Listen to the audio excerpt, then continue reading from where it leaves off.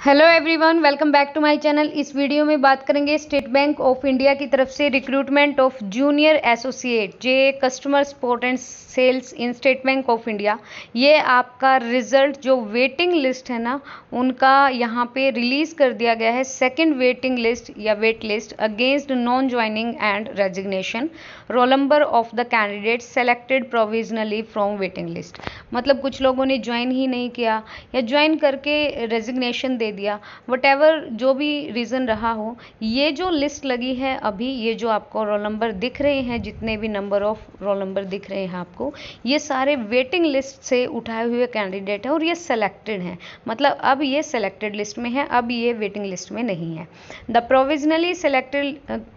candidate are being to advise by the way of S M S separately आपको S M S भी किया जाएगा separate अलग से, कि आप सेलेक्टेड हो। तो गाइज़ वेरी वेरी कॉन्ग्रेचुलेशन कि आप यहाँ पे सिलेक्टेड हो एसबीआई ने सेकेंड वेटिंग लिस्ट का प्रोविजनल सेलेक्टेड कैंडिडेट का रिज़ल्ट यहाँ पे डाल दिया है। आई होप सो कि आपको वीडियो पसंद आए। पसंद आए तो please like and share and please subscribe the channel also thank you so much thank you for watching